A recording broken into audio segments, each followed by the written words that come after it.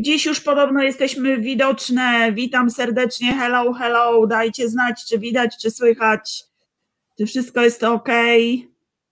Czy wylądowaliśmy w dobrym miejscu? O, widzę już na pokładzie 15 osób. Hello, hello, 21 i liczby rosną. Dajcie znać, czy widać, dajcie znać, czy nas słychać, dajcie znać, gdzie jesteśmy, czy jesteśmy na fanpage'u, czy jesteśmy w grupie, czy jesteśmy na YouTubach. Witamy YouTube również. Hello, hello.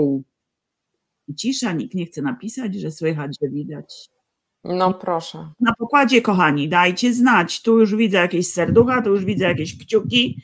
Natomiast nie mam informacji. Witam serdecznie i widać i słychać. Dziękuję Basieńko bardzo, bardzo serdecznie. Oczywiście liczymy na Wasze serduszka, liczymy na Wasze kciukole, liczymy też na to, że udostępnicie nasze spotkanie we wszystkich tych grupach, gdzie są nauczyciele, we wszystkich tych grupach, w których to spotkanie, które tu za chwileczkę się roz, właściwie już się rozpoczęło, ale które za chwilę będziemy kontynuować, e, przyda się tym osobom, które, e, które pracują z osobami z autyzmem, e, które widać, słychać, dobry wieczór, wszystko widać, wszystko słychać.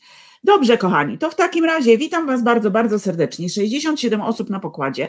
Ja nazywam się Aneta Szostak-Sulewska. Na co dzień prowadzę taki fantastyczny kanał, który zowie się Avans TV i dzisiaj właśnie wydanie specjalne Avans TV Wydanie specjalne z gościem. Moim gościem jest Maria Dąbrowska-Jędral. Witam Cię, Mario, bardzo, bardzo serdecznie.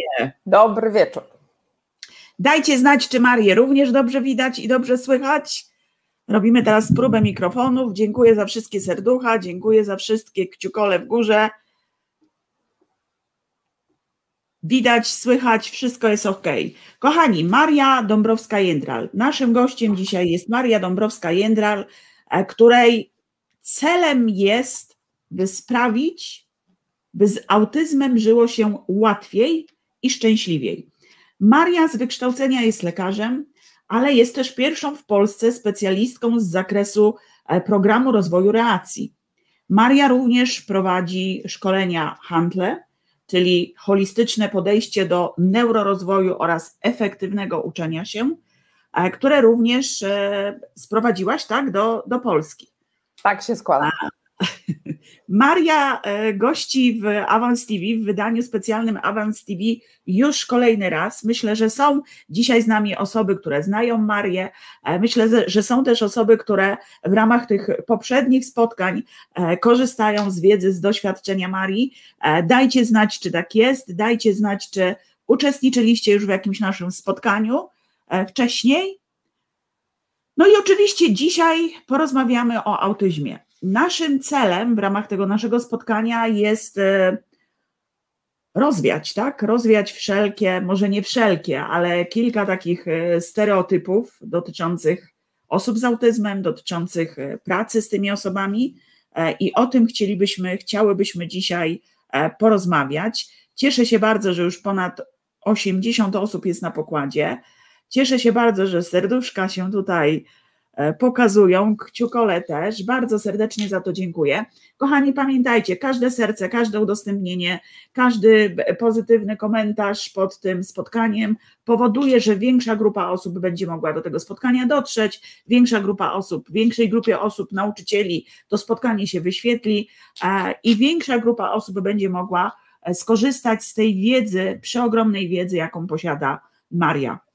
Mario, dzisiaj Światowy Dzień Świadomości Autyzmu, więc oczywiście będziemy rozmawiać o autyzmie i to jest taki nasz sposób na to, żeby się tutaj e, zapalić na niebiesko e, i żeby, żeby porozmawiać o tym, e, że po pierwsze stworzyłaś fantastyczny kurs, kurs fundamentalny, właśnie po to, by z autyzmem żyło się łatwiej. I o kursie i o pewnej niespodziance oczywiście będziemy też na koniec mówić. Chciałam się dzisiaj skupić na tym i porozmawiać z Tobą e, właśnie o tych mitach, które e, krążą na temat autyzmu. Jakie one są, co one robią w naszych głowach, w głowach nauczycieli, w głowach osób, które e, żyją z, z osobami z, z autyzmem. Jak Ty to widzisz i co mogłabyś powiedzieć na ten temat?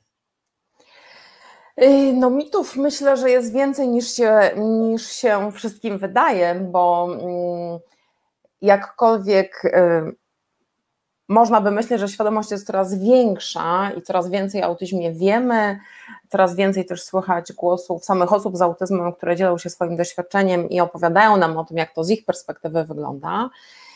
Niemniej e, mity cały czas świetnie funkcjonują, myślę, w całym społeczeństwie i oczywiście też no, nie, omijają, nie omijają grupy nauczycieli. I myślę sobie, że, no, że dobrze będzie chociaż kilku właśnie z nich dotknąć. Mit, od którego myślę warto zacząć, e, to taki, że uczeń z autyzmem to uczeń agresywny. E, to, co ja często słyszę z ust nauczycieli, to właśnie to, że e,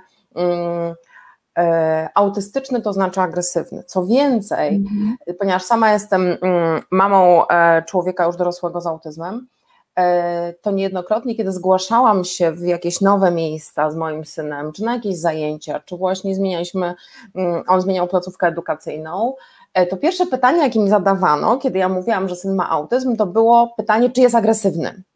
Co też pokazuje, że jest pewien schemat myślowy, który sprawia, że stawia się znak równości pomiędzy autyzmem a agresją, a tak absolutnie nie jest, bo no nie każda osoba z autyzmem jest agresywna. Oczywiście niejednokrotnie mm, zachowania agresywne występują u osób z autyzmem, niemniej nie są one wynikiem autyzmu jako takiego, tylko innych trudności, których osoba mm, doświadcza. Mhm. Bardzo często są to, są to trudności związane z niemożnością e, skomunikowania się, z niemożnością przekazania tego, tego o co mi chodzi, e, tego, że, że coś jest nie tak, tego, że ja czegoś nie rozumiem, że, że coś jest za trudne. Mm, I e, natomiast ponieważ to zachowanie wykazuje osoba, która jest w spektrum, no to robi się takie natychmiastowe przełożenie, że no wiadomo, że jak jest autystyczny, mm, jak jest autystyczny, no to, to jest agresywny.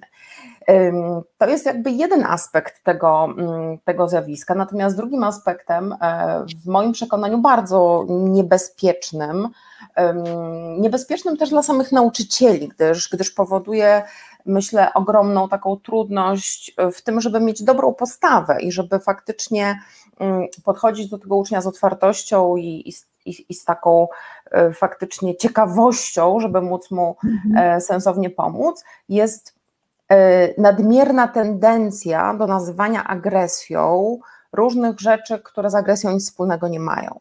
Mm, jaki mogłybyśmy sobie dać przykład? No, przypomina mi się jeden mój podopieczny, który Mm, e, który będąc, nie wiem, to była piąta czy szósta klasa, e, miał takie zachowania, że po prostu zrywał się e, z, z krzesła, zrzucał ręką wszystkie rzeczy z ławki takim jednym dmuchnięciem, rzucał krzesłem i wychodził trzaskając drzwiami. No i oczywiście on to robił nie w kierunku do kogoś, tylko po prostu jakby gdzieś no, w przestrzeń wolną. Mm, natomiast no, szkoła natychmiast zawezwała rodziców pod hasłem, że, no, że dziecko jest agresywne i coś z tym zróbcie. E, I e, natomiast e, zachowanie, jak zaczęliśmy je analizować, okazało się, że, że to, co powoduje takie, a nie inne zachowanie, to jest to, że ten chłopak nie radził sobie z tym, co mu proponowano i albo nie radził sobie, bo okazało się, że zadań na kartce było za dużo. I kiedy dostawał kartkę, na której było 10 przykładów, to, to wpadał w furię, ale wystarczyło podzielić y, te 10 przykładów na 5 razy po 2 i nie było najmniejszego problemu, żeby on to zrobił. Tak? Y, innym powodem, dla którego on miewał takie zachowania, było to, że nie rozumiał zadania, a nie potrafił jakby poprosić o pomoc, mhm. powiedzieć, że nie rozumie, mm, zapytać. I to tak naprawdę, no jeszcze trzecim, trzecim powodem było zmęczenie. I to były trzy powody, którego, e, e, dla których no, to zachowanie u niego mm, występowało. Mm, I kiedy udało się rozpoznać, co jest przyczyną i zastosować odpowiednie strategie, zachowanie natychmiast zniknęło. I, e, i to jest szalenie ważne, żebyśmy żebyśmy nie, no nie, jakby zwracali uwagę na to, żeby nie szafować tak łatwo określeniem agresja, bo jeżeli sobie przeczytamy w słowniku języka polskiego, czym jest agresja, mm, jaka jest definicja agresji, to tam jest bardzo wyraźnie napisane, że to jest działanie, e, które podejmujemy z intencją skrzywdzenia drugiej osoby. Tak? Kiedy ja trzaskam drzwiami z wściekłości czy z bezradności, czy nawet zrzucam coś z ławki, to ja mhm. nie robię tego po to, żeby kogoś skrzywdzić, tylko bardzo często ja to robię dlatego, że potrzebuję rozładować swoje emocje. Tak? Natomiast co, y, dlaczego mówiłam, że my sobie tym trochę strzelamy w kolano? Dlatego, że jeżeli ja jako nauczyciel podchodzę i myślę o moim uczniu, że on jest agresywny, to ja od razu wprawiam siebie, no w taki, od razu myślę, że jestem w stanie zagrożenia, no bo jeżeli ktoś jest agresywny, mhm, to ja mhm. jestem zagrożona. A ponieważ dla każdego z nas um, podstawowym priorytetem w obrębie uwagi jest poczucie bezpieczeństwa i komfortu, to jeżeli ja mam poczucie zagrożenia, to ja nie będę w stanie dobrze pracować. Ja nie będę w stanie mieć odpowiedniej uważności, żeby wyłapać te drobne wskazówki, które mi mój uczeń wysyła i żeby na bazie tych wskazówek zmodyfikować tak moje działania. Tak? tak? Mhm. Tak, dokładnie, więc dlatego to jest takie ważne, że e, no poza tym wiemy, że, że słowa wpływają na umysł, tak? Słowa programują mózg, więc na to, jak ja nazywam rzeczy, ma kolosalne znaczenie. I to, do czego ja zawsze zachęcam ludzi, to to, żeby nazywać fakty, bo fakty nie kłamią, tak? Czyli jeżeli ja powiem, że ktoś rzuca książką, czy nawet ciągnie za włosy, czy jeszcze coś innego robi, to takie są fakty. Natomiast jeżeli ja już nadaję temu etykietkę taką czy inną, to ja już mhm. przypisuję automatycznie intencje tej osobie i tu się mogę bardzo pomylić.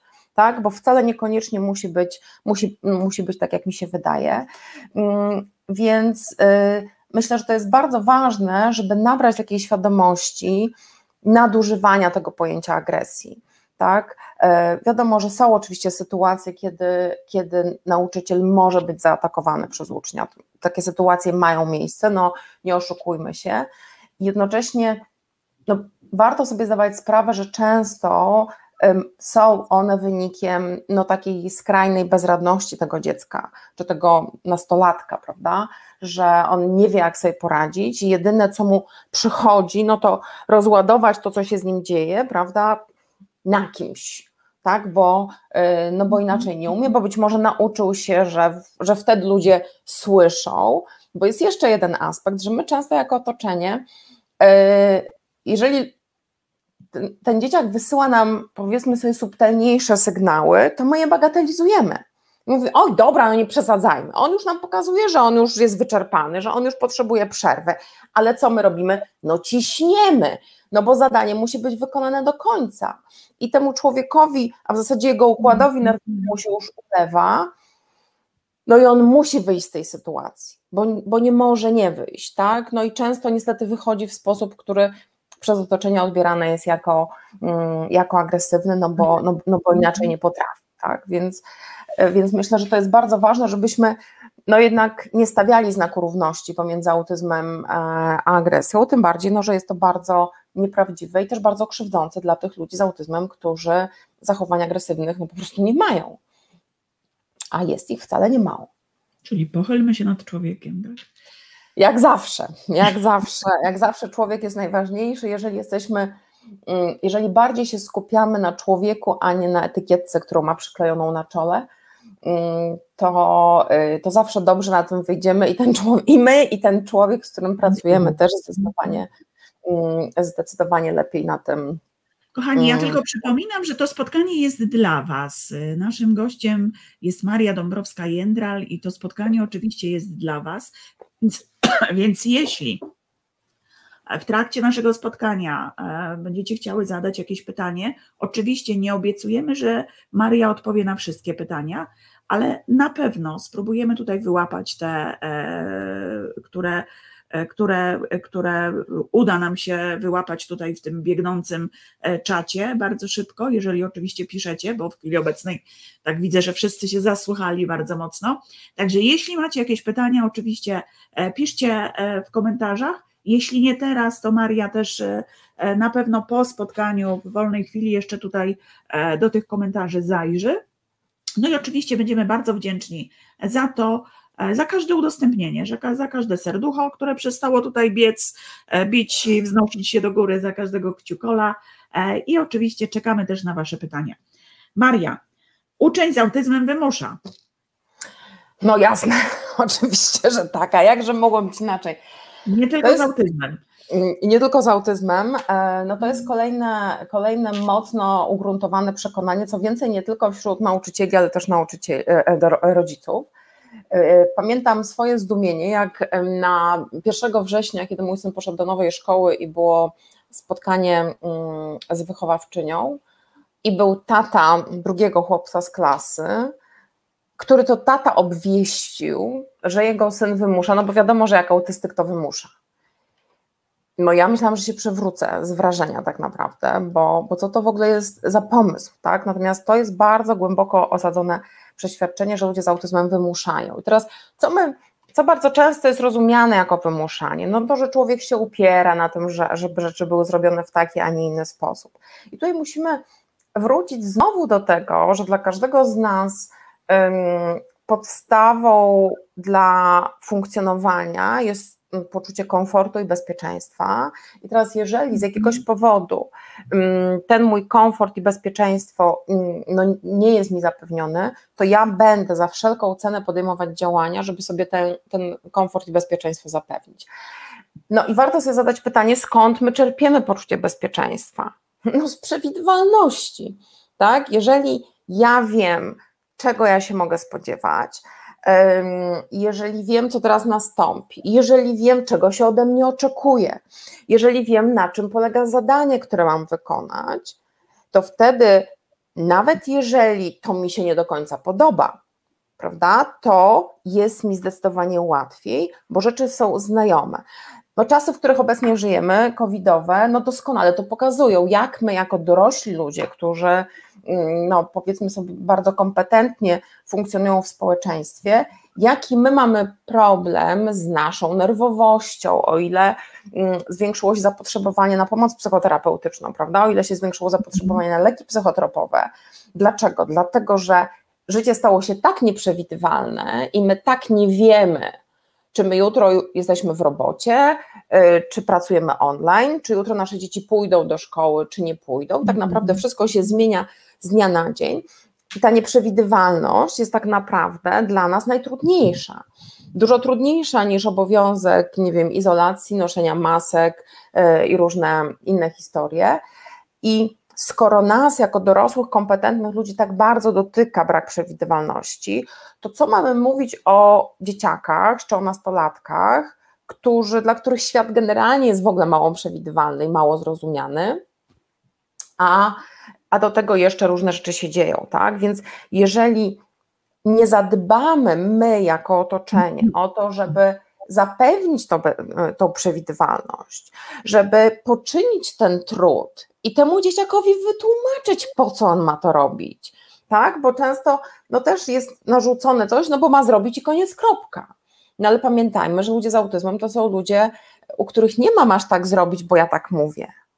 Na, możesz, nawet jak jesteś ojcem i matką, to nie ma czegoś takiego, że ktoś zrobi, bo ja tak mówię. Człowiek musi rozumieć, dlaczego ma to zrobić. Tutaj w przeciwieństwie do dziecka typowo rozwijającego się nie ma takiego zdania się na tego zaufanego przewodnika i ponieważ ten przewodnik mówi, że tak trzeba, to, no to, no to dzieciak typowo rozwijający się pójdzie w to. Tak? U mhm. osoby z autyzmem nie ma tego. Ona musi rozumieć i musimy jej to wytłumaczyć. To, co jest bardzo ważne, to żebyśmy tłumaczyli od najmłodszych lat. Czyli, no bo często się mówi, nie, no jak on jest za mało, on nie rozumie, on w ogóle nie rozumie, co się do niego mówi i tak dalej, i tak dalej nawet jeżeli nie rozumie znaczenia każdego słowa, to jest w stanie zrozumieć Twoją intencję, to jest w stanie zrozumieć część przekazu. Kiedy mówimy do niemowlęcia czy do noworodka, no to umówmy się, czy ten noworodek rozumie każde słowo, które my wypowiadamy? No nie, ale mówimy do niego tak, jakby rozumiało. to dziecko, prawda? A z jakiegoś dziwnego powodu do osób z autyzmem no nie mówimy. Uważa się, że no nie, no do nich to jakoś tak w ogóle trzeba, no nie wiadomo jak tak naprawdę.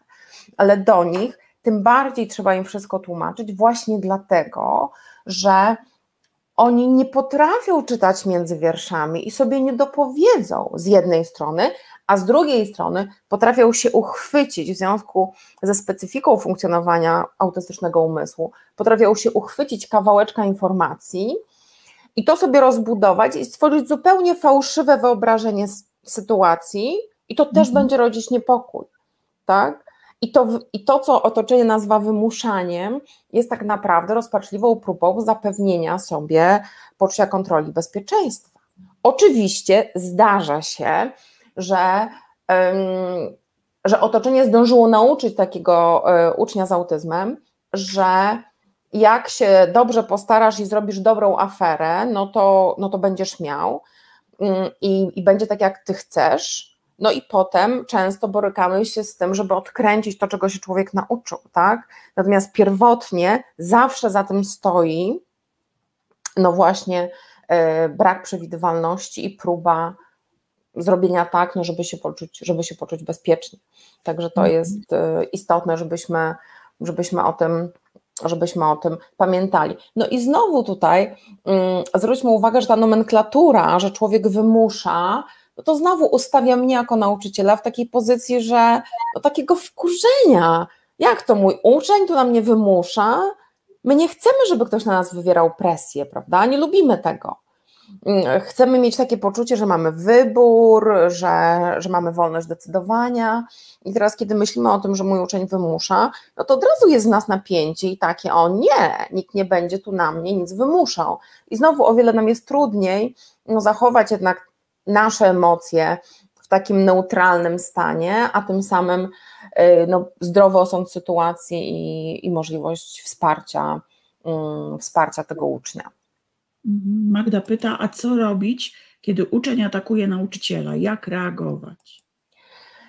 No to oczywiście wszystko zależy od sytuacji, tak? W jaki sposób atakuje, e, jaki mamy kontekst, czy nauczyciel jest sam w klasie e, i ma więcej dzieciaków, czy, czy jest jakaś osoba, czy jest jakaś osoba wspomagająca.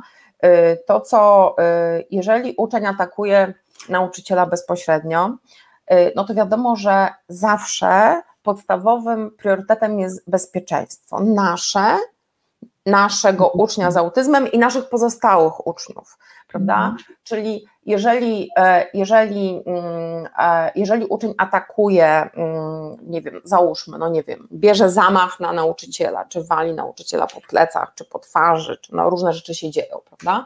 No to wiadomo, że ten nauczyciel no ma obowiązek jakby to zatrzymać, tak? Czyli no nie możemy się dawać okładać, no bo, y, no bo to nie o to chodzi. Natomiast to co, to, co jest bardzo ważne, to że poza tym, że zatrzymujemy tę rękę, to żeby takich sytuacji nie przegadywać, to jest podstawowy błąd, który jest popełniany, to jest taki, że jak pojawia się jakieś zachowanie mm, nieodpowiednio kontekstowo, niepożądane, to natychmiast się nam włącza gadanie i zaczynamy paplać. Nie zgadzam się, nie wolno, nie wolno bić. Ci ludzie to wiedzą doskonale, tak? Natomiast nasze słowne tutaj um, ich dyscyplinowanie tak naprawdę powoduje tylko eskalację ich emocji. Więc to, jest, to, co jest kluczowe w takich sytuacjach, to jest to, żeby naprawdę nie gadać. Zatrzymaj tę rękę, Możesz na człowieka popatrzeć, a czasem jest lepiej odwrócić wzrok, bo niektórzy popatrzenie odbierają jako próbę sił, tak? Mhm. Więc czasem, czasem trzeba po prostu zatrzymać, poczekać, usunąć się. Też, I też jest zasada taka, że zawsze działamy zgodnie z kierunkiem działającej siły. Czyli jeżeli ktoś na mnie napiera, czy chce mnie uderzyć, to ja pójdę za tą siłą, bo to, co my robimy, to najczęściej działamy wbrew kierunkowi tej siły prawda? Czyli z wektorem przeciwnym. Czyli jak ktoś mnie ciągnie za włosy, to odruchową reakcją jest to, że my w drugą stronę, tak? A tu właśnie trzeba pójść za tym kierunkiem siły, czyli jeżeli siła działa w tamtą stronę, to ja idę za tą siłą, łapię, prawda, włosy pomiędzy ręką mm, osoby, która mnie ciągnie, a, a skórą i dopiero, i dopiero jakby się z tego wyzwalam. Natomiast w pierwszym odruchu, to co jest bardzo ważne, to żeby pójść zgodnie z kierunkiem siły, która na nas działa, bo wtedy nie wchodzimy w tę próbę sił i też o wiele łatwiej nam się jest wymsknąć, jeżeli ktoś nas atakuje i ja pójdę zgodnie z kierunkiem działającej siły, niż jeżeli ja wchodzę w kontrę. Tak? I bardzo ważne jest, żeby to naprawdę załatwić, żeby to naprawdę załatwić w ciszy. E, ewentualnie, żeby no tam padła minimalna liczba słów, typu, nie wiem, właśnie czasem trzeba wyjść z człowiekiem, prawda? Czy, yy, natomiast to na pewno nie jest czas na tłumaczenie, że tak nie wolno i że ja się nie zgadzam i tak dalej, bo są przecież ludzie, którzy biją i mówią, nie wolno bić, prawda? Bo słyszeli, bo słyszeli już ten tekst tysiące razy, doskonale go znają, natomiast natomiast, yy, natomiast to robią. Mm, ale znowu bardzo ważne jest to, że kiedy, kiedy ten uczeń atakuje, to żeby, żeby naprawdę pochylić się nad tym i bardzo uważnie przeanalizować sytuację, co Dlaczego? takiego tam się działo, mhm. tak, że, że ten uczeń atakuje, bo rzeczy się nie dzieją bez przyczyny. Oczywiście czasem jest bardzo trudno zidentyfikować tę przyczynę. Nie zawsze jest to proste, bo czasem ta przyczyna jest gdzieś wewnątrz, tak? Bo się może pojawić jakaś myśl, no, której my nie zauważymy, bo człowiekowi prawda, się coś przypomniało czy coś i to wzbudza takie emocje, że muszę pójść i, i komuś przyłożyć, żeby to rozładować.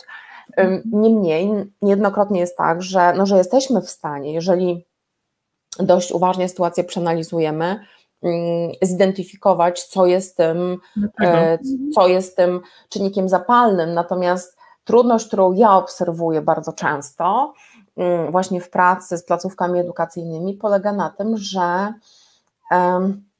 za małą wagę przykłada się, w moim przekonaniu, właśnie do przeanalizowania. Bo to naprawdę czasem wymaga trochę czasu, to naprawdę wymaga czasem pogłowienia się, e, przegadania z kimś. Dobrze jest nagrać na, na, na wideo taką sytuację, bo, mm, bo filmy nie kłamią. Tak? To, to, co jest wielką siłą w pracy, to jest nagrywanie siebie samego w pracy. Jak możemy siebie w pracy zobaczyć, to bardzo pięknie możemy zobaczyć właśnie, że za dużo gadamy, że nie dajemy czasu na przykład, prawda? Że kompensujemy i robimy coś, y, coś, coś za dzieciaka, czego nie zobaczymy bez filmu, bo nam się przecież wydaje, ale przecież ja czekam na niego, ale na filmie mamy, mamy czas, y, kod czasowy i możemy sobie policzyć, no czekasz dwie sekundy, mhm. tak? A to jest trochę za mało. Więc, y, więc ja też bardzo zachęcam do, do, nagrywania, mm, do nagrywania pracy w warunkach wewnętrznych, tak żeby sobie mm, też robić wzajemne, wzajemne superwizje i analizować, y, analizować te sytuacje, które mają miejsce. Człowiek nie mówi. Jak człowiek nie mówi, to znaczy, że nie myśli. Że nie ma życia. No jasne, no jasne, przecież. Przecież. E, nie wiem, czy pamiętacie, był taki film a kiedyś Chce się żyć o chłopaku z porażeniem mózgowym, e, który był takim pierwszym chyba głosem bardziej wyraźnie wypowiedzianym mm, na temat tego, że, no, że to, że człowiek nie mówi, to nie znaczy, że tam w środku się, e, się nic nie dzieje. Niemniej e, no, żyjemy w takim społeczeństwie, które jest tak nastawione na właśnie na gadanie i na to, żeby to było, żeby wszystko było szybko, że bardzo często człowiek niemówiący nie ma szans. Nie ma szans po prostu się, e, się pokazać i objawić, dlatego że na niego nikt nie poczeka. E, nawet jeżeli to jest człowiek, który został nauczony przed gestów, czy się komunikuje znakami, to bardzo często mm, wszystko goni w tak szybkim tempie, że nikt na tego człowieka nie poczeka. Ale co, y, co z tym niemówieniem jest związane? No właśnie z niemówieniem jest związane to, że skoro się nie odzywasz, to znaczy, że nie masz nic do powiedzenia. A skoro nie masz nic do powiedzenia, no to znaczy, że nie myślisz, no to wiadomo, no jakbyś myślał, miał coś do powiedzenia, to, yy, to byś gadał. I niby my na głowę wiemy, że, yy, że człowiek, yy, który nie mówi, y, potrafi myśleć, natomiast w codziennym życiu okazuje się, że, mm, no, że nie przekłada się to na działanie wobec tych ludzi. W związku z tym często nie podejmowane są próby nauczenia człowieka um, jakiejś innej drogi przekazu, żeby on mógł, żeby on mógł um, w jakiś sposób przekazać swoje, swoje myśli, nie szuka się alternatywnych metod komunikacji. Mm, też często z tego względu, że żeby człowieka nauczyć alternatywnych metod komunikacji, to trzeba w to włożyć kupę pracy. E, często bardzo syzyfowej pracy, tak? Często E, często e, pracy, którą trzeba weryfikować gdzieś po drodze, bo, bo wcale to nie idzie tak łatwo. Mm, natomiast no jeżeli się zastanowimy, postawiłybyśmy się na chwilę w sytuacji osoby niemówiącej, no to, to jaką ci ludzie mają motywację mieć do podejmowania działań i mm, pokazywania, że, no, że coś potrafią, że myślą, jeżeli wszyscy dookoła nich uważają, że nie gadasz, to nie masz nic do powiedzenia tak? Jeżeli jest, jeżeli jest cały czas, jeżeli jest cały czas ten przekaz, że, mm, no, że, że, że, że, że ty w ogóle tam nie myślisz, no to, no to niestety, to niestety tak się dzieje, że, e, że ani się nie tłumaczy e, ludziom niczego, ani się ich nie pyta o nic. E, co, a, a jeszcze co gorsza, mówi się o nich przy nich, jakby ich tam nie było. Więc, więc to jest, więc to jest, to jest bardzo, no, szkodliwe, szkodliwe zjawisko, bo uniemożliwia ludziom no, możliwość zaprezentowania się, a naprawdę, mm, naprawdę mm, oni mają naprawdę dużo do powiedzenia. Tak? Ja mam sama mhm. doświadczenia z moim osobistym synem, który jest osobą bardzo niewiele mówiącą i mówiącą tylko rzeczy takie bardzo instrumentalne i podstawowe, e, czyli jak chce coś dostać do jedzenia, czy chce iść do łazienki i na, na poziomie werbalnym, no to to jest, to jest taka komunikacja bardzo uboga, bardzo ograniczona. Mm, no naprawdę, no, no można powiedzieć, że, że, no, że tam w zasadzie niewiele, niewiele co jest. Natomiast to, co on potrafi pisać, to ja niejednokrotnie zbieram szczękę z podłogi. Zdolność wglądu, zdolność obserwacji tego wszystkiego, to jak on wszystko skubany widzi, jak on wszystko obserwuje, jak on analizuje, jak on przeżywa i jak on potem potrafi to ubrać w słowa, to naprawdę też słownictwo, którego on używa czasem, to ja, ja mówię, chłopie, skąd ty takie słowa w ogóle znasz? Mm, I, i no jeżeli my nie damy człowiekowi szansy, nie będziemy szukać sposobów, jak go nauczyć wyrażania siebie, no to mo, może być tak, że on przeżyje całe swoje życie, będąc e, traktowany jako osoba niespełna rozumu mm, i nie mając żadnej szansy na pokazanie, kim jest. Zresztą no, sytuacja opisywana w tym, e, pokazywana w tym filmie, no też jakby tak naprawdę dzięki jednej nauczycielce ten chłopak mógł zacząć się komunikować, bo była jedna osoba, która w niego uwierzyła, tak? I to też jest szalenie ważne, żebyśmy, no jako osoby, które pracują z dzieciakami, tak? Jeżeli jesteśmy nauczycielami czy terapeutami, to żebyśmy byli tymi osobami, które wierzą, które widzą w tobie e, potencjał, widzą w tobie coś więcej, widzą w tobie, że ty możesz, że ty możesz myśleć, że ty umiesz myśleć, że ty myślisz. I w związku z tym zastanawiają się nad tym, jak, no dobra, to skoro, y, to skoro tak, to jak, jak ci pomóc tam dotrzeć, tak? Jak ci pomóc to, jak ci pomóc to przekazać. I to jest, no to jest szalenie krzywdzący mit, że jeżeli człowiek nie nie myśli, to nie mówi. On oczywiście nie dotyczy tylko ludzi w spektrum, bo dotyczy tak samo właśnie ludzi z porażeniem mózgowym, prawda? Czy, mm, e, czy, czy, czy, czy właśnie z jakimiś mięśniowymi też różnymi przypadłościami. E, natomiast no jest, jest on no, no bardzo, bardzo niesprawiedliwy. Mhm. Jak ktoś na zewnątrz wydaje się być odcięty, to taki jest też w środku. Autyzm wprowadza w błąd, no właśnie, była kiedyś taka kampania Fundacji Synapsis, mm, autyzm wprowadza zmysły w błąd, pewnie wszyscy pamiętamy Bartka mhm. Topę, który się wcielał w osoby autystyczne i robił różne no takie mm, mm, zaskakujące sytuacje, e, nawet w telewizji, prawda?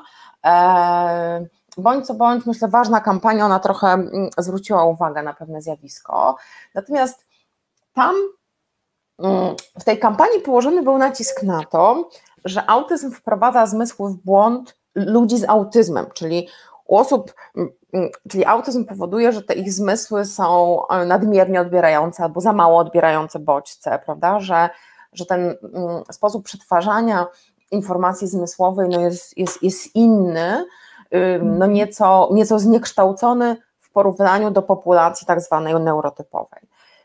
Natomiast to, co zwraca moją uwagę, to bo to jest oczywistość, że już myślę, że na tym etapie, na którym jesteśmy, no to, to myślę, że już ta wiedza jest dość powszechna, że, no, że ludzie z autyzmem mają wszystko bardziej, prawda, bardziej czują, bardziej, bardziej przeżywają, bardziej słyszą yy, i tak dalej, i tak dalej. Natomiast yy, ja bym chciała zwrócić uwagę na ten aspekt otoczenia, że autyzm wprowadza w błąd otoczenie, bo my się dajemy nabrać.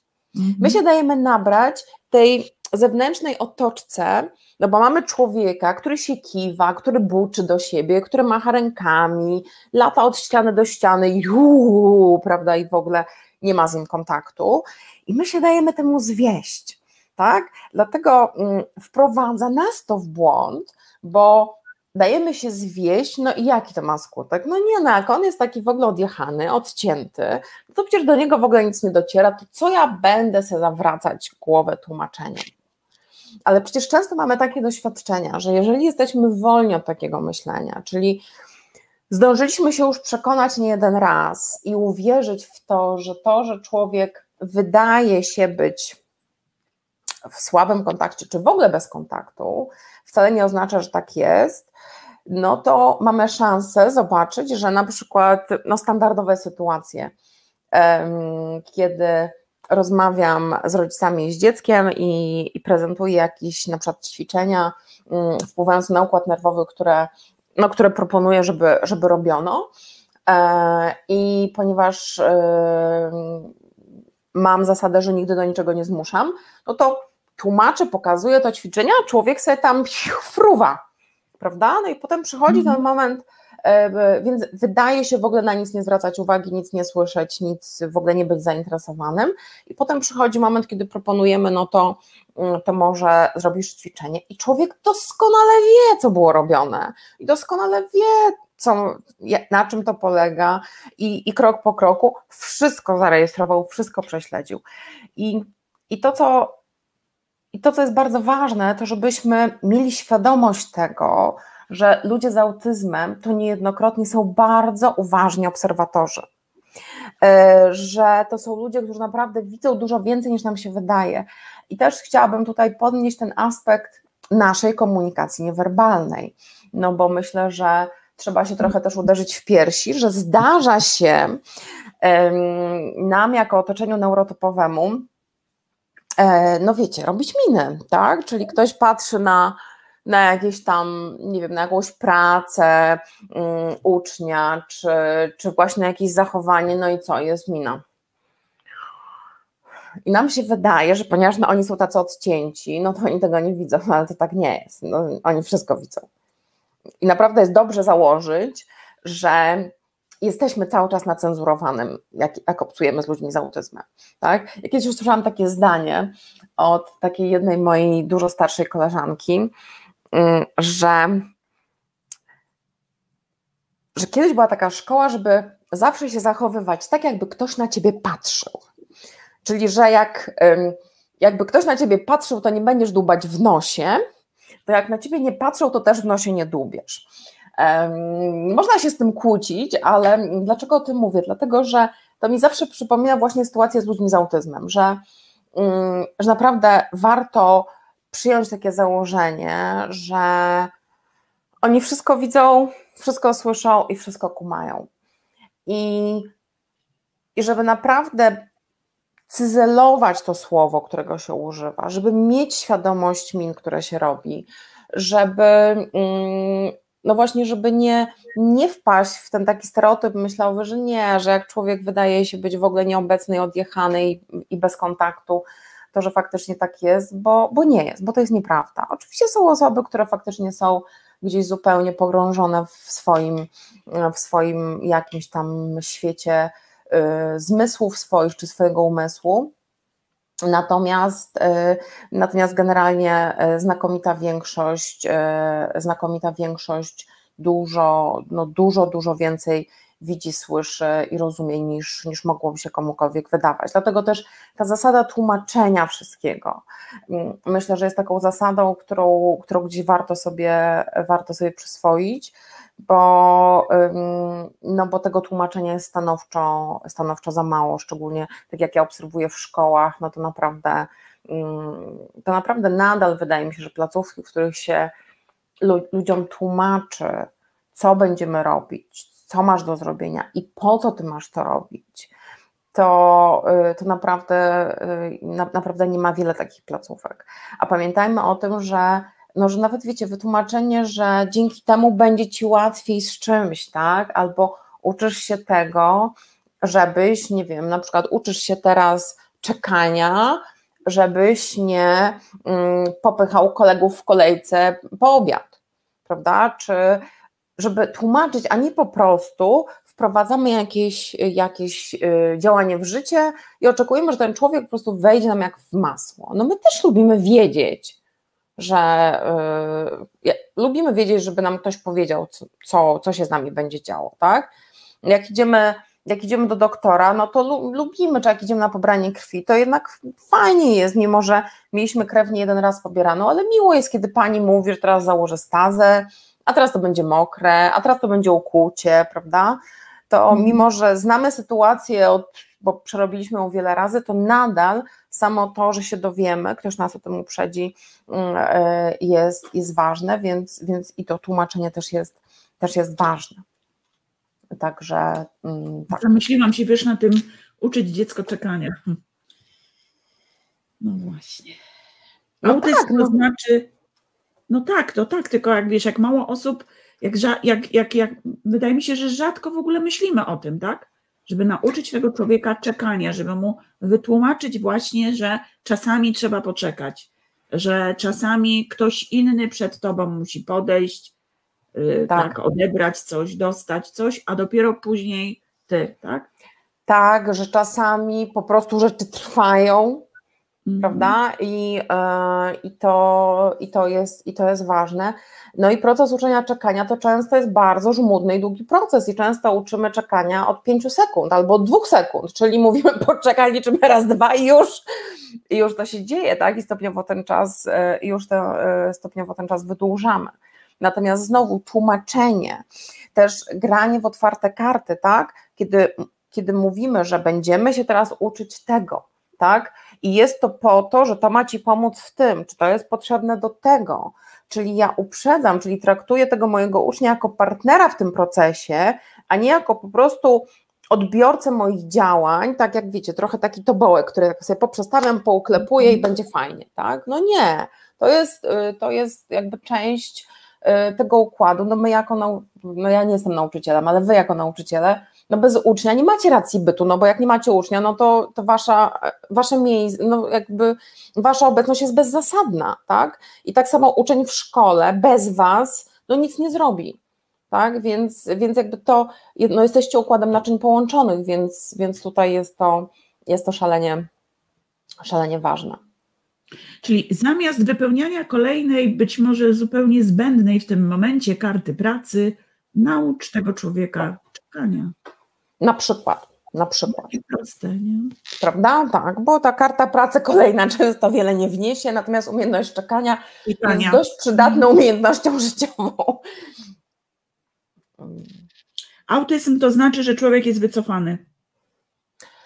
O właśnie, to jest, y, to jest mit, który mm, no, cały czas bardzo mocno mm, funkcjonuje i cały czas jest taki, myślę, że jakby zrobić taką sondę na ulicy mm, i takiego przeciętnego Kowalskiego zapytać, e, co to, jaki jest człowiek z autyzmem, no to właśnie powie, że w swoim świecie za szybą i wycofany.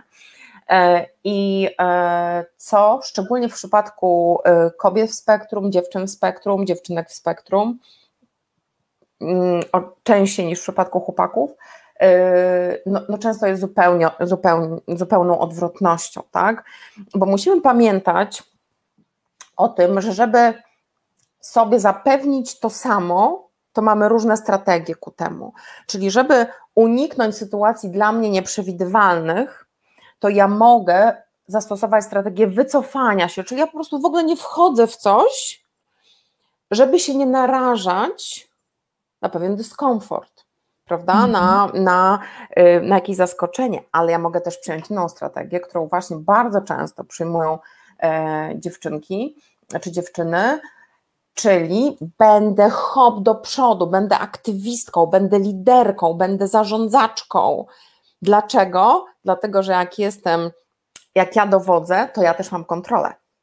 Tak? Mhm. Czyli jest dużo, dużo łatwiej dziewczynom w spektrum, znaczy w ogóle ludziom w spektrum, ale częściej to dotyczy dziewczyn, mm, wejść właśnie w rolę mm, na przykład liderki, niż szarego członka zespołu, bo jeżeli jestem członkiem zespołu, to ja muszę mieć dość dobre kompetencje dostosowywania się do innych osób, co dla ludzi w spektrum jest trudne, ale jeżeli występuję w roli lidera i ja pociągam za sznurki, czyli automatycznie lepiej kontroluję sytuację, ta sytuacja jest dla mnie bardziej przewidywalna, więc ja w to będę wchodzić w ten sposób i uzyskam ten sam efekt tak? Czyli jedna i druga strategia może nam dać y, zaspokojenie tej samej potrzeby. Tak, że są takie, są takie osoby, które narzucają bardzo mocno i wydają się takie aż nadmiernie kompetentne społecznie, tak, ale to wcale nie jest często nadmierna kompetencja, to pytanie, czy kompetencja może być nadmierna, tylko właśnie jeżeli ktoś jest taki aż taki społeczny, że aż wow, to czasem za tym stoi, za tym stoi e, no właśnie, właśnie to, że, że jest to strategia, żeby, żeby, kontrolować, żeby kontrolować sytuację, a ponieważ jest to robione w sposób uznany za społecznie akceptowalny, to ludzie się to ludzie się, no to się ludzie dają wprowadzić właśnie w błąd, tak? Ale dlaczego się dajemy wprowadzić w błąd?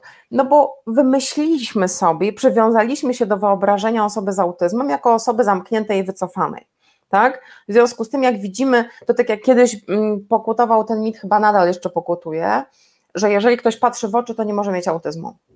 Prawda? I jak się trafiała osoba z autyzmem, która nie miała problemu z kontaktem wzrokowym, no to automatycznie było negowane, że ona ma autyzm. No przecież nie może mieć autyzmu, no bo patrzy w oczy. Mhm. I tak, samo, I tak samo jest z tymi umiejętnościami społecznymi. No jak ma umiejętności społeczne takie wysokie, albo takie, które wyglądają na wysokie, no to nie może, e, to nie może, to nie może mieć autyzmu, a to jest nieprawda. Znam osobiście parę właśnie akurat dziewczyn dorosłych, takich już, że tak powiem, dobrze po trzydziestce, e, które właśnie tak mają, że, że o wiele łatwiej i, i świetnie się odnajdują w roli, e, w roli osób na, na pozycji lidera jakiegoś, kierownika i tak dalej, Mm, natomiast nienawidzą sytuacji, kiedy są, no kiedy po prostu mają być, mają być członkiem zespołu, bo jest to dla nich bardzo, bardzo trudne. Także, także to, też jest, to też jest taka rzecz, którą, no, no, której warto być świadomym, że, to, że, że, że jakby autyzm jest tak wielowątkowy i w tak wielu wydaniach, że, że, e, że, mm, no, że, że się nie da czytam tutaj, słyszałam, że skoro patrzy w lustro, to nie autyzm. No, prawda? No właśnie, jak się interesuje swoim odbiciem w lustrze, to. to znaczy, Także. Tak. Jasne komunikaty, a uczennica z autyzmem wchodzi na zajęcia w kurtce, na wisiaku wisi już moja kurtka, mówię zdejmij kurtkę, zdjęła, rzucając, moją rzucając na podłogę.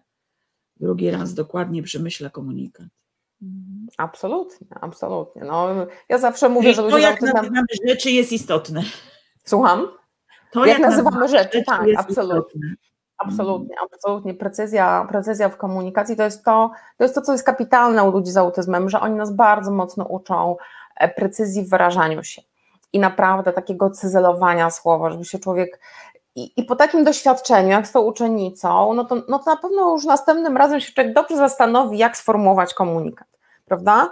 To jest kapitalne. Jeżeli potrafimy zobaczyć w tym wartość, że to nie jest autystyczne i, i, i złośliwe i takiej śmakie, tylko potrafimy zobaczyć tym wartość, że, że kurczę, ona mi pokazuje, że ja się mało precyzyjnie wyraziłam tak naprawdę. No bo mhm. mało precyzyjnie i następnym razem wyrażam się bardziej precyzyjnie i natychmiast się to przekłada na, na lepszy efekt, tak? Ale znowu, tutaj trzeba mieć w sobie wystarczająco dużo pokory, żeby przyznać, że może ja coś mogłam zrobić inaczej. Tak? Że może następnym razem korzystniej będzie coś zmienić. Bo my często oczekujemy tego, yy, i to też bardzo często pojawia się właśnie yy, w różnych moich rozmowach yy, z pedagogami, że często oczekuje się ode mnie na przykład podczas szkoleń, że ja dam receptę, co z takim uczniem zrobić. Czyli, że jest taki problem i ja mam dać rozwiązanie. Ja zawsze mówię, że to nie jest książka kucharska, no, że się otworzy problem X, to jest strona 55, tylko, że tu jest właśnie zawsze kwestia do zastanowienia, co ja mogę zrobić inaczej, żeby ta sytuacja miała inny przebieg. Bo jedyną osobą w tym układzie ja, uczeń z autyzmem, na którą ja mam realny wpływ, jestem ja sama. Bo ja na mojego ucznia, no poza sytuacjami, kiedy nie wiem, fizycznie go jakoś tam, nie wiem, wykonam jakąś fizyczną interwencję, czy będę go fizycznie wspomagać na przykład, prawda? To ja, cały mój wpływ jest wpływem pośrednim. No bo jakby mój wpływ polega na, na wpływanie na ucznia poprzez moje działania. Więc jedyną osobą, na którą mam faktycznie stuprocentowy wpływ, jestem ja sama tak? I zadawanie sobie tego pytania, że, że może należy coś zrobić inaczej, a może ja gdzieś popełniam błąd, a może ja czegoś nie widzę. Ja na przykład jak mam mm, w pracy z moimi podopiecznymi gdzieś utykamy, to pytanie, które ja sobie zawsze zadaję, to jest czego ja nie widzę, czego ja nie zauważam, co, co ja gdzieś, co, co ulega mojemu przeoczeniu tak? Bo, y, bo jeżeli ja nie jestem w stanie skutecznie zadziałać, to znaczy, że brakuje jakiegoś elementu. Tak? On oczywiście może być po stronie ucznia, prawda? Y, czyli, czyli brak jakiejś kompetencji, natomiast no moim zadaniem jest szukać takich sposobów wspomagania, żeby mimo tego braku kompetencji ten uczeń był w stanie krok po kroku krok po kroku zadziałać, prawda? No czasem, e, czasem trudność polega na tym, że my poprzeczkę źle ustawiamy, tak? Albo ją ustawiamy za wysoko i człowiek się natychmiast wycofuje i nie chce podjąć działania i protestuje, albo ustawiamy ją za nisko i, e, no i człowiek się nudzi i, i niejednokrotnie też się czuje urażony tym, że on ma takie łatwe rzeczy robić, prawda? Mhm. I no i, e, i, i, też warto się zastanowić, że a może to zadanie jest dla ciebie za łatwe, a może ono jest za trudne, a może coś w konstrukcji tego zadania, w strukturze doświadczenia jest, co należałoby zmienić, dzięki czemu, dzięki czemu będziesz, będzie ci łatwiej. No ale to wymaga od nas przyjęcia do wiadomości tego, że my coś możemy no, robić niekoniecznie najkorzystniej tak? I, i mieć sobie taką otwartość, żeby, e, no żeby sobie powiedzieć, no dobra, no może właśnie, może ja coś tutaj chrzanię, tak? I może, może, ja, coś, może ja coś potrzebuję zmienić w tym swoim działaniu. Pojawiło się takie pytanie, może dziwne, jaka jest różnica między Aspergerem a Aspergerem ze spektrum? Nie potrafię odpowiedzieć na to pytanie, bo ono jest dla mnie, e, ja wiem, że takie krążą obiegowe różne Asperger ze spektrum. Mm, natomiast e, no w tej chwili w ogóle się mówi o tym, że to jest autism spectrum condition, czyli stany w spektrum autyzmu i zespół Aspergera e, jest zaburzeniem ze spektrum autyzmu, podobnie jak autyzm, i w tej chwili w ogóle odchodzi się od tego różnicowania zespół Aspergera autyzm, mhm. dlatego że tak naprawdę chodzi o, y, o to bycie w spektrum, czyli o określony sposób myślenia, odbierania świata, percepowania tego świata, no i tej odmiennej zmysłowości, no bo jednak znakomita większość ludzi z autyzmem, żeby nie powiedzieć wszyscy, no inaczej zmysłowo też odbierają świat. Natomiast no pamiętajmy o tym, że dzisiaj przeczytałam w związku y, z 2 kwietnia, no jest oczywiście mnóstwo artykułów w sieci, więc y, Dzisiaj przeczytałam takie ładne zdanie, mm, inaczej poustawiane klocki w mózgu. E, no i myślę, że to tak oddaje sens e, bardzo dobrze, że, że jest to no, inny sposób myślenia, tak? Dostaję czasem wiadomości od, zresztą znam też takie osobiście takie kobiety, które są w związkach z, z mężczyznami w spektrum, mm, o czym nie wiedziały wchodząc w te związki, no bo gro ludzi, na przykład no w moim wieku, no jest niezdiagnozowana, tak, no bo, no bo kiedyś się nie diagnozowało, mm, natomiast no ewidentnie, ewidentnie człowiek zachowuje się typowo i myśli w sposób typowy dla osób, dla osób z autyzmem, no i to, mm, no i to rodzi y, ogromne trudności w takim dogadaniu się w związku, mm. dlatego że, że po prostu jest to inny sposób odbierania świata, inny sposób rozumowania, inny, inny te, te, te same słowa mogą znaczyć zupełnie coś innego, tak? I, i często jest, no jest to zderzenie tych dwóch różnych zupełnie umysłów, które, no, które bywa w życiu po prostu bardzo, bardzo trudne. Także no, no przykro mi bardzo, ale nie potrafię odpowiedzieć na to pytanie, czym się różni, bo odchodzi się zupełnie od tego. Od takiego nazywnictwa. Mhm. To jak myślimy, myślimy o uczniu wpływa na to, jak on sobie radzi.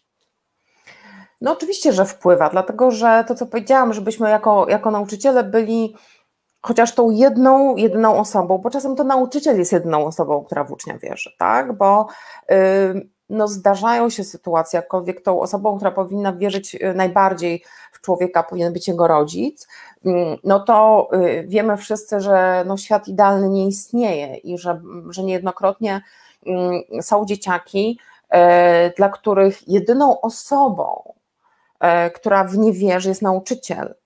I, e, i to, jak my podchodzimy, jak, jak ja myślę o moim uczniu, ma kolosalne znaczenie dla tego, jak ja będę z nim pracować. Bo jeżeli ja myślę, że mm, to nie jest dla ciebie, że, że ty tego się nigdy nie nauczysz, że, yy, że to nie dla takich, nie, że ty to za głupi, albo za taki, albo za śmaki, tak? No to, yy, no to po pierwsze, yy, wprowadzając jakieś, jak, jakiś element do uczenia, oczywiście rodzi to od razu pytanie, no to skoro to nie jest dla niego, to po co tego uczysz w ogóle, skoro uważa, że on się tego nie może mhm. nauczyć. I będziemy użyć w sposób, no, będziemy komunikować ten nasz brak wiary w tego człowieka. A ten człowiek, przeglądając się w naszych oczach, ma widzieć w nas niezachwianą pewność, e, że on jest w stanie to zrobić. On w siebie nie wierzy, ale to my mamy w niego wierzyć, żeby on patrząc na nas widział, że o Jezu, ja chyba naprawdę mogę to zrobić, tak? Naprawdę mogę. No i człowiek robi, no i my mu mówimy, że zobacz, prawda? I, no i się okazuje, że, że on może, tak? Bo, bo my często, no, u, nauczyciel nie może nie wierzyć w swojego ucznia to jest warunek niezbędny do tego, żeby proces edukacyjny przebiegał, e, przebiegał skutecznie. Tak? Jeżeli nauczyciel nie wierzy w potencjał, nie wierzy w możliwości, mm. to, e, to uczenie no, jest w ogóle w moim przekonaniu pozbawione sensu. Ja bym nie chciała absolutnie mieć do czynienia z nauczycielem, który uważa, że coś nie jest dla mnie, że coś jest poza moim zasięgiem. Tak? E, tylko właśnie z nauczycielem, który mi mówi, że wiem, że jest cholernie trudno, rozumiem, że się boisz jak diabli i powoli się tego nauczysz i dasz mhm. radę, tak? Ja mm, pracując ze swoim synem i robiąc różne, różne trudne dla niego bardzo ćwiczenia, no niejednokrotnie doświadczam sytuacji jego strachu przed błędem. Tak? Kiedy jest opór, no więc on się opiera, więc ja muszę się z nim dogadać o co chodzi, że on się opiera, no i najczęściej on się opiera dlatego, że, no, że on się boi, że popełni błąd. Tak? I często właśnie to tłumaczenie po raz tysięczny tego samego, tak? że, że błędy są świetne, że dzięki błędom to już wiemy, co już umiesz, a czego jeszcze się potrzebujesz uczyć tak? I że się nauczysz, że być może zajmie to więcej czasu, a może zajmie mniej czasu, natomiast się nauczysz. Ja muszę wierzyć, bo jeżeli ja mam komuś coś proponować i chcę od niego wysiłku, tak? No bo jak uczymy czegoś, no to, no to wiadomo, że to jest coś, co, mm, co wymaga pewnego trudu, no to jeżeli ja oczekuję od ciebie wysiłku, no to ja nie mogę w ciebie nie wierzyć to po prostu nie mogę w ciebie nie wierzyć. To muszę mieć niezachwianą wiarę w to, że nie tak, nie w taki sposób, to w inny, albo jeszcze inny, ale, ale że to się, że to się, się, że to się wydarzy. Mhm. Od jakiego wieku można diagnozować dziecko w kierunku autyzmu? No w tej chwili już są te programy przesiewowe, program Bada Bada, który od o Jezu, żebym nie skłamała, od 18 miesiąca, o ile dobrze pamiętam, e, diagnozuje e, i e, na stronie Fundacji Synapsis mm, nazywa się to Bada Bada, tam można wejść i sobie zrobić online kwestionariusz, tam jest ileś pytań i, i jak się przerobi ten kwestionariusz, to ten wynik pokazuje, czy mm, czy to jest coś, czy sytuacja wymaga jakiejś dalszej interwencji i, e, i konsultowania ze specjalistami od diagnozowania, czy też należy człowieka zostawić, należy człowieka zostawić, e, zostawić w spokoju. Mm, e, natomiast no, zgłaszają się, najmłodsze dziecko jakieś do mnie zgłosiło, takie, z którym pracowałam, to miało 8 miesięcy, natomiast y, ostatnio się zgłosiła mama e, z córeczką, która ma 6 miesięcy.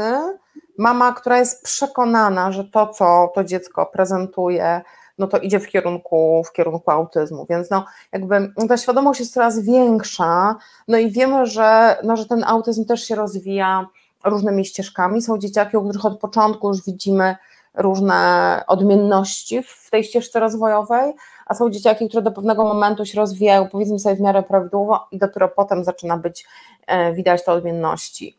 Także, także natomiast no taka, taka, taka formalna diagnoza, no to, no to półtora roku, to, to, no to, to jest półtora, półtora roku. Mhm. Mario, od Ciebie można się też uczyć. Powstał kurs fundamentalny i chciałabym, żebyś powiedziała kilka słów na ten temat. E, jak to wygląda, dla kogo jest ten kurs, do kogo jest on adresowany. Ja tutaj też oczywiście podlinkuję, żebyście mogli sobie zerknąć na stronę kursu i bardzo proszę, przybliż nam słów parę na ten temat. Kurs fundamentalny stworzyłam, mm, ja się do niego bardzo długo zbierałam i to wiesz, wiesz że ja się długo do niego zbierałam.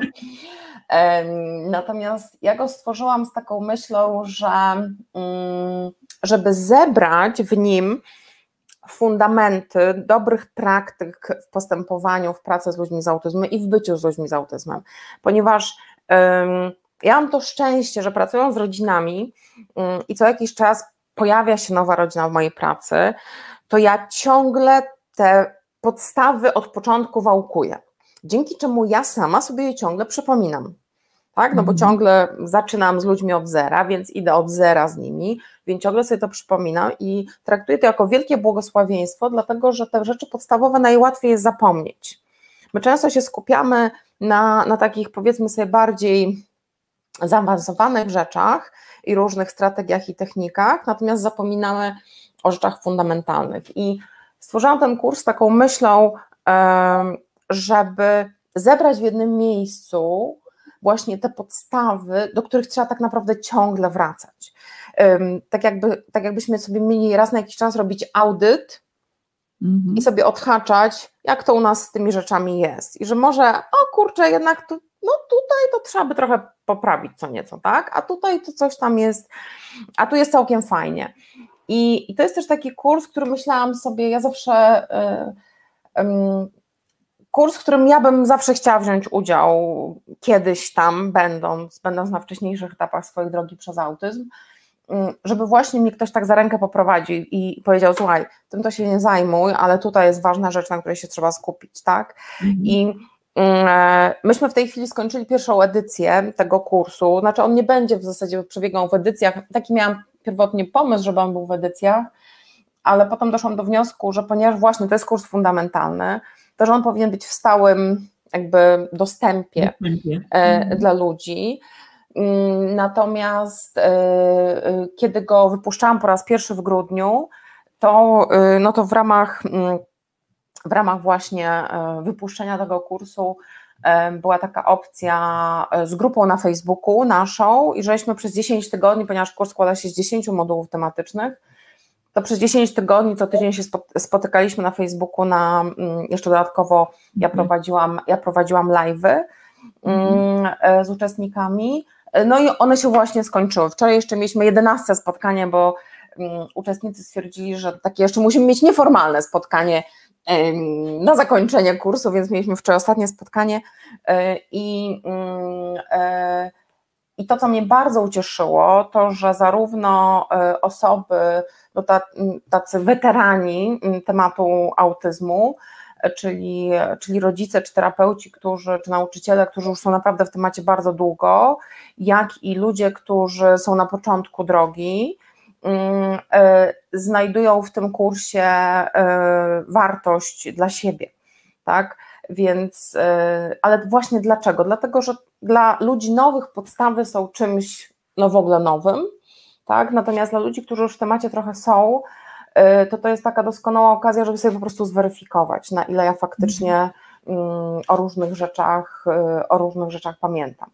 No tam jest kupa, kupa wiedzy, ci, którzy mnie znają, to wiedzą, że u mnie jest samo mięso, także tam jest naprawdę kupa mięsa i um, są karty pracy do każdego modułu, też każdy moduł jest w, wersji wideo, audio i w formie transkrypcji. Do pobrania są te wszystkie materiały, także Także no jest to. Nauczyciel jest, jest pracujący to z, z, dzieckiem też, rodzic, tak? Osoba. Tak, która... tak. W kursie brali udział i nauczyciele, i terapeuci, i rodzice, i partnerzy osób z autyzmem. Mhm. E, I nauczycieli, nauczycieli terapeutów w tej grupie, która, e, która e, w grudniu dołączała do kursu, było dokładnie po połowie bo ja to, ja to sprawdziłam, że, że dokładnie połowa, połowa uczestników to byli rodzice, a połowa uczestników to byli ludzie zawodowo, zawodowo pracujący, właśnie albo nauczyciele, albo terapeuci. Więc, no więc ja serdecznie, serdecznie zapraszam mm, do udziału, bo, e, bo myślę sobie, mm, że, że jest to naprawdę no, zebrane w jednym miejscu kompendium wiedzy na temat autyzmu, też takiej wiedzy, o której się nie mówi, tak, więc, więc, więc serdecznie zapraszamy. Tym bardziej, że mamy niespodziankę dla tak, Twojej społeczności. Tak, małą niespodziankę, ja tu już może podświetlę tą niespodziankę. To jest, kochani, hasło. E, I z tym hasłem jeszcze od tej ceny, która obowiązuje w chwili obecnej, przez tydzień, tak? Przez tydzień, dobrze mówię? Tak, do dziewiątego dzisiaj ruszyła promocja kursu, ona trwa do dziewiątego. E, ta cena jest, e, ta cena jest obniżona, jest promocyjna z okazji właśnie świadomości autyzmu. Natomiast dla, mm, na hasło kapelusz, wszyscy wiemy nie dlaczego wiem, kapelusz. kapelusz. Dlaczego ten kapelusz? No ja właśnie nie wiem dlaczego ten kapelusz. Ale na hasło kapelusz jest. Jest jeszcze niespodzianka. Jest, jest niespodzianka, jest, jest kupon rabatowy, więc, e, więc, e, więc kto, kto chodzi w kapeluszu, no to ma. To, to ma, tak. To dodatkowo ma jeszcze niespodziankę. Także na spokojnie przemyślcie sobie, e, bo naprawdę myślę, że jest to, jest to, będzie to dobra inwestycja. O, w ten sposób powiem. Wykorzystanie tego hasła kapelusz E, kurs został podlinkowany przeze mnie w komentarzach. Ja jeszcze później podepnę go tutaj na górze e, w, w, w, jako pierwszy komentarz, żebyście na spokojnie sobie przejrzeli całą tą e, stronę kursu i doczytali, przeczytali o wszystkim tym, co być może zdecyduje o tym, że, że kliknie, klikniecie przejść dalej. Jest tutaj jeszcze pytanie Kasi, jakie są na przykład te odmienności w czwartym miesiącu życia dziecka. Jakie one mogą być? No często to są takie. Mm, mm, no to są na przykład takie, takie reakcje, mm, czasem związane z takim napinaniem ciała, że Mhm. że dziecko ma takie no i wszyscy mówią, o jak on się cieszy, jak ten, a to już są gdzieś jakieś takie sygnały, że ta neurologia troszeczkę inaczej gdzieś tam i to nie mhm. chodzi o to, że to są takie neurologiczne prężenia, bo ne, ne, takie typowe prężenia wyglądają nieco inaczej, no to też są takie, że, że dziecko y, no, dąży, prawda, do, do sięgania nie, nie, patrzy na zabawkę, tylko naj, najbardziej interesująca w zabawce jest sznurek albo metka, prawda, że to są takie, to są często, no często ta, ta reakcja na imię też jest, e, też mhm. jest, też jest inna, to, mhm. mm, to spojrzenie, że, że nie mamy takiego poczucia, jak dziecko rozwija się w sposób typowy, to mamy, kiedy nawiązujemy z nim kontakt, no i tam do niego gadamy i pitu pitu i tak dalej, prawda, to wchodzimy w ten taki rezonans emocjonalny i mamy takie poczucie, że faktycznie my się dostrajamy do dziecka, a dziecko się dostraja do nas. Kiedy, mm, jeżeli dziecko y, jest już od początku na tej autystycznej ścieżce rozwoju, mm, no to będziemy mieli takie poczucie, że tego rezonansu nie ma. Tak, to, to będziemy mieli takie poczucie, że hmm, że coś tu, coś tu nie gra. Często ludziom, którzy, których dziecko z autyzmem jest ich pierwszym dzieckiem, y, to jest im to trudno zobaczyć, tak? no bo nie ma się tego punktu odniesienia, ale na przykład ci rodzice, którzy mieli pierwsze dziecko powo rozwijające się i to drugie dziecko no trochę inaczej się rozwija, to ci ludzie, ci rodzice natychmiast to wychwytują, natychmiast to mhm. wychwytują. Tak? Mhm. I, I mówią, kurczę, coś mi nie pasuje, tak jak ta mama w tym szóstym miesiącu mówi, no wie pani, no, no tak niby, no, no, no można by powiedzieć, że ona trochę opóźniona, że coś, ale tak mi coś nie, no, no nie pasuje mi, no, no nie pasuje mhm. mi to. Więc to często są takie bardzo, mm, takie, no takie, takie subtelne, mm, takie subtelne, e, e, e, e subtelne zmiany, a często otoczenie też boi się nam powiedzieć. Ja pamiętam, że mój przyjaciel, który jest chrzestnym mojego syna z autyzmem, e, z którym się znamy od pierwszej klasy liceum, e, jak się okazało, że mój syn ma autyzm, to on powiedział tak, mówi, wiesz co, mi się zawsze wydawało, że coś jest niehalo, ale wyście się wszyscy tak nim zachwycali i tak się cieszyliście, że ja nie miałem odwagi ci powiedzieć, że, że, że może coś jest niehalo tak? Więc też jest często tak, że wiecie, no, że my no właśnie w tej nieświadomości, szczególnie, że właśnie e, no u nas też było tak, że, że, że mój syn jest pierwszym naszym, pierwszym z naszych dzieci, ten syn z autyzmem, e, więc pierwsze dziecko w rodzinie, no więc wszyscy wiecie, ochy, jachy, tak? Mm, I, e, I te subtelne takie, a myśmy też dopytywali o różne rzeczy lekarzy, no ale to nam wszyscy mówili, ponieważ oboje z mężem studiowaliśmy na medycynie, jak nasz syn się urodził, no to nam wszyscy mówili, co wy się go czepiacie, naczytaliście się jako studenci medycyny książek i wam się dużo wydaje, dajcie mu święty spokój, tak? Więc to często są takie naprawdę bardzo subtelne, mm, bardzo subtelne. Też takie e... tak, że wyrośnie z tego. O, no jasne. Albo chłopcy to później mówią, prawda? I, mówią, tak. Tak, więc, więc dużo takich, mm, dużo takich um, mitów. Kochani, czy macie jeszcze jakieś pytania do nas? Czy chcielibyście jeszcze o coś zapytać? Na pokładzie cały czas ponad 70 osób. Cieszymy się, że tyle osób jest tu z nami e, nadal. E, super, dziękuję, ogrom informacji, tu również podziękowania, ogrom wiedzy. Jeżeli macie jeszcze jakieś, jakieś pytania, to wykorzystajcie moment który się akurat teraz nadarzył, by jeszcze zapytać, dopytać. Oczywiście na spokojnie wejdźcie też w ten link, który jest, zerknijcie na, e, na, na, na ten opis kursu, zerknijcie sobie na opis poszczególnych modułów e, i rozważcie, czy nie zrobić sobie takiego świątecznego prezentu. Czy jest możliwość ja, ja, na dwie raty? E, jest w systemie, jest w systemie, jest w systemie e, jakby płatności na, w PayU, ponieważ płatność jest za pomocą PayU, to tam jakby można wybrać taką... I istnieje tak, taka możliwość, tak, żeby po przejściu tej ścieżki na spokojnie sobie tam wczytać się i rozłożyć na raty również można. Tak. Ja też zachęcam, co miało miejsce przy właśnie przy tej grudniowej e, promocji kursu, mm, żeby mm, kurs kupowały po prostu placówki. Wiecie, no ja przecież nie jestem w stanie sprawdzić, czy z tego dostępu do konta będzie korzystała tylko jedna osoba ze szkoły, czy tych nauczycieli będzie pięciu korzystało, czy dwudziestu. Tak naprawdę będę się cieszyć, że mm, nawet jeżeli szkoła kupi tylko jeden kurs, chociaż była, jest szkoła, jest, mam przedszkole, które kupiło trzy kursy, po jednym kursie na grupę tak? Już świetnie.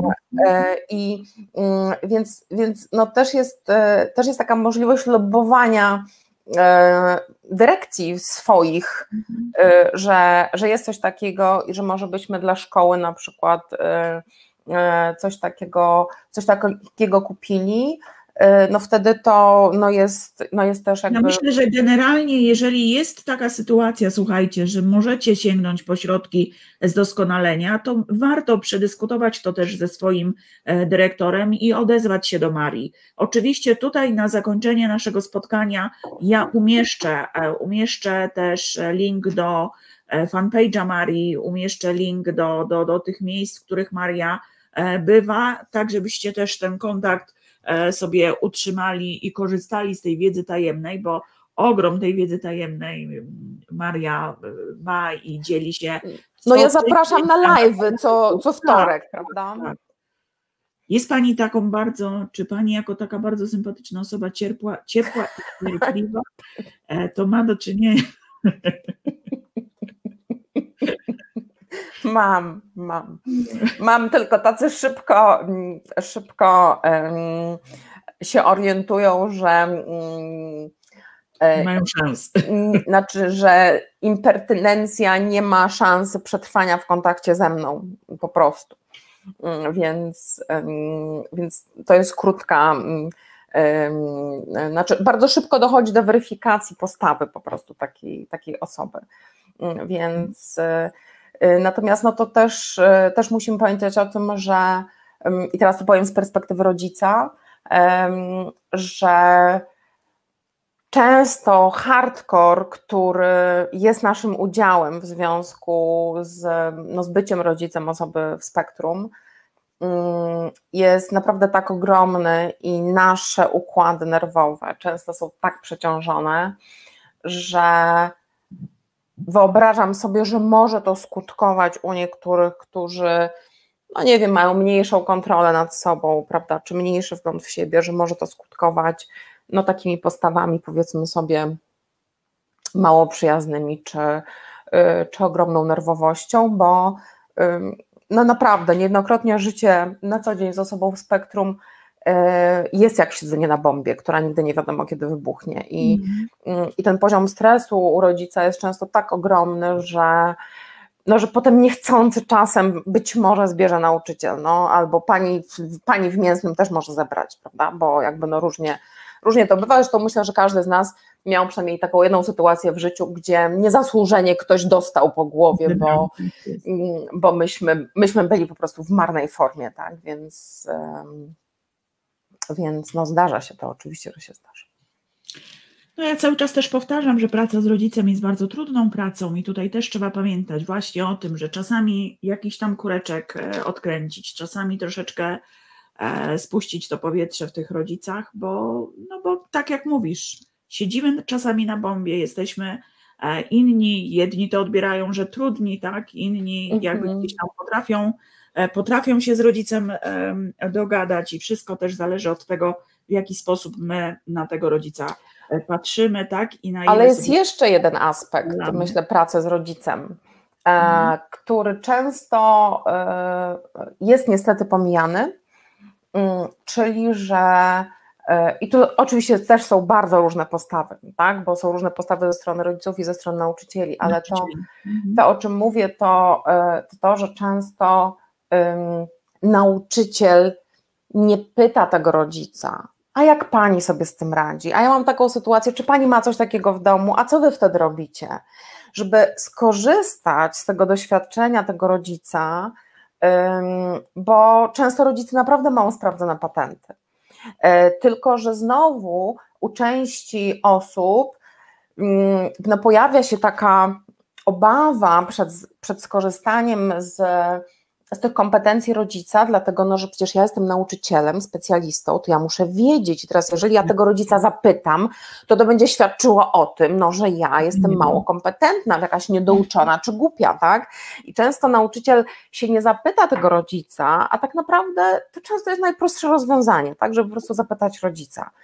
Sama mam też takie doświadczenie, że e, kiedy, kiedy mój syn zmieniał szkołę i przygotowałam, no ponieważ jest, jest człowiekiem bardzo niewiele mówiącym, więc przygotowałam mu coś w rodzaju paszportu komunikacyjnego, e, gdzie było dokładnie opisane, jak on się komunikuje, co on lubi, czego on nie lubi, jak w sytuacjach takich z nim postępować, jak w sytuacji napadu pataczkowego, a jak napady pataczkowe wyglądają i tak dalej to się okazało, że y, spośród nauczycieli, którzy z nim pracowali, przeczytały to, tą informację dwie osoby. A reszta, mimo że informację każdy dostał w garść, reszta mhm. Nie przeczytała. Nie wiem dlaczego nie przeczytała, bo ja sobie myślę, że jeżeli bym dostała nowego ucznia z, z tak zwaną instrukcją obsługi, to bym po prostu błogosławiła tego rodzica, że mu się chciało to dla mnie napisać bo ja już wchodzę w kontakt z tym uczniem, już coś na jego temat wiedząc. Mhm. Tak? Więc, więc często jest też tak, oczywiście zdarzają się rodzice, którzy przychodzą i tylko mówią, ma być tak jak ja chcę i koniec, kropka. Tacy też są, mam tego pełną świadomość, tak? Mm, natomiast y, wydaje mi się, że za często mamy do czynienia z taką sytuacją i to właśnie mm, na skutek działań i jednej i drugiej strony, że rodzice i nauczyciele są po przeciwnych stronach podczas gdy powinniśmy być wszyscy po jednej stronie, no bo mamy działać na, dobro, na, na rzecz dobra dziecka, prawda? Więc, mm-hmm. a często gdzieś jesteśmy po przeciwnych stronach, udowadniając sobie, kto tu jest mądrzejszy kto, i kto wie lepiej. Tak? I, I to myślę, że też jest taka rzecz, o której warto e, zrobić. Mhm. Czy dobrze e... rozumiem, że kurs można zrobić sobie w zaciszu domowego ogniska, kiedy dana osoba ma czas? Czy jest limit waż... dni ważności kursu? Tak, oczywiście, że kurs można sobie zrobić e, w zaciszu domowego ogniska. Kurs generalnie jest dostępny przez rok na platformie kursowej, natomiast wszystkie materiały są do pobrania z wyjątkiem wideo, ale na nagraniu audio jest dokładnie to samo, co na nagraniu wideo, więc e, karty pracy, transkrypty, nagrania audio można sobie pobrać i mieć to na zawsze. Tak, i, i z tym pracować i też do tego, e, i też do tego wracać. Natomiast na platformie kursowej każdy uczestnik ma dostęp do kursu mm, przez rok.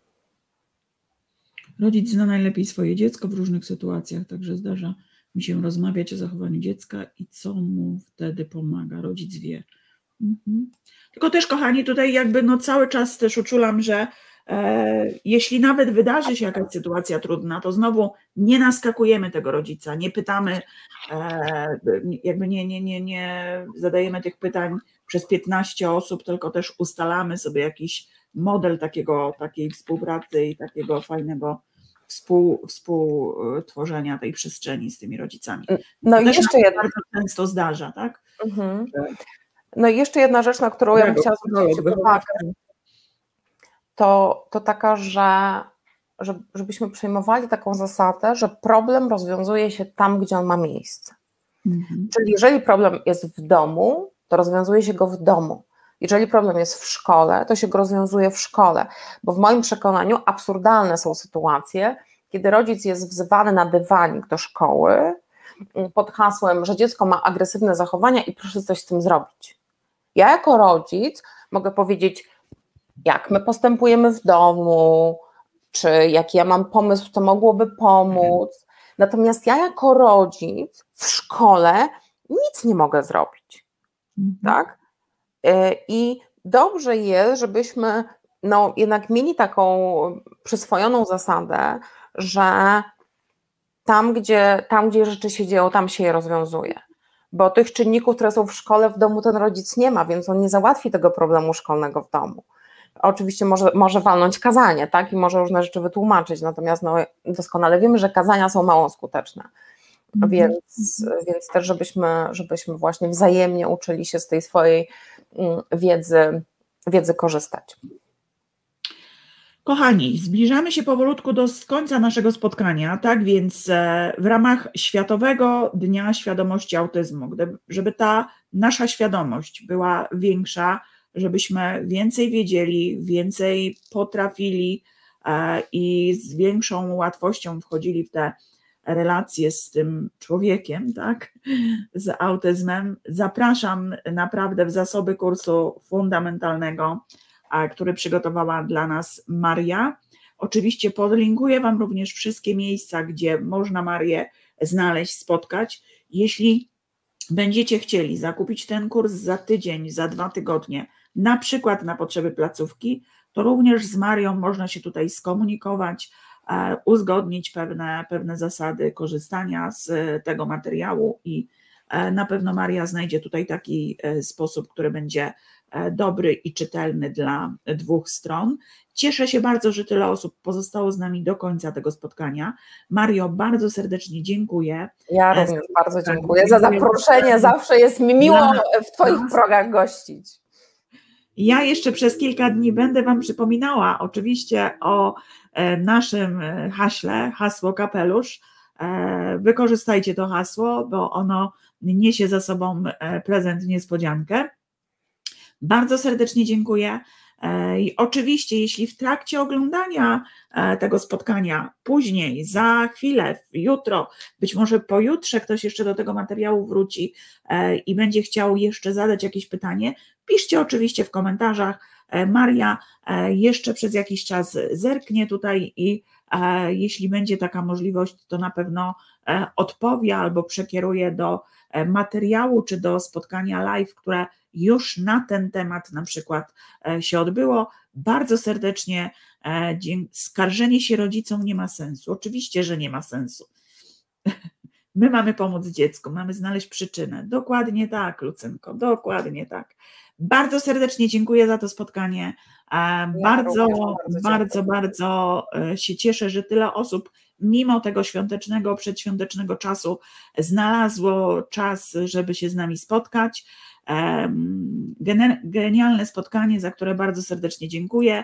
Dziękuję za dużo informacji. My również dziękujemy za to, że byliście. E, pozdrawiamy cieplutko, życzymy spokoju w święta i, no i zdrowia, chyba to jest dzisiaj najważniejsze. Także dużo zdrowia, e, dużo takiego ciepła i spokoju rodzinnego. Trzymajcie się cieplutko i do zobaczenia gdzieś tam na szlaku. Jeszcze Dziękuję raz Mario. Dziękuję bardzo, raz, raz jeszcze i wszystkiego dobrego dla wszystkich i niech nam z autyzmem żyje się łatwiej. Dokładnie tak. Pozdrawiam serdecznie. Dobrej nocki.